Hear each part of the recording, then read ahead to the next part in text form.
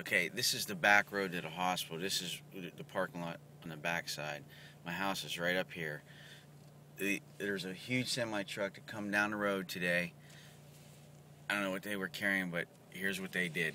They come around here, and I don't know if they took a piece of the curb with them or what, but look at this.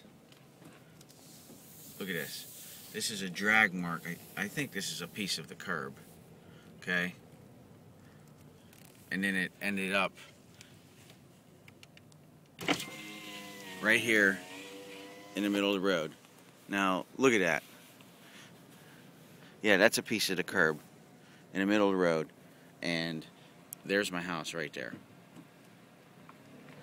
This is what we got to deal with from Jameson Hospital in New Castle, Pennsylvania.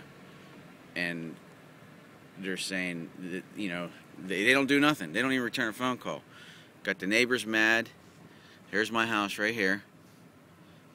Got this guy here. He's upset. He'd like to sell. This lady here, Pat, I just talked to her about the helicopter. She wants someone to call her. She said, Doug Danko don't return no calls. They don't do nothing. It was, you know, she wanted to speak to the news.